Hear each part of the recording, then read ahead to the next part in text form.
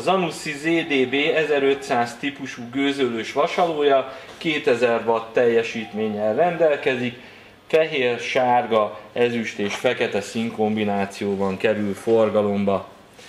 Átlátszó víztartája van, könnyen feltölthető a készülék, több fokozatban lehet állítani a gőzölést, rendelkezik spriccelő funkcióval, külön gőzkilövelés funkcióval, illetve egy termosztát kapcsolóval az anyagféleségnek megfelelő hőmérsékletet tudunk beállítani.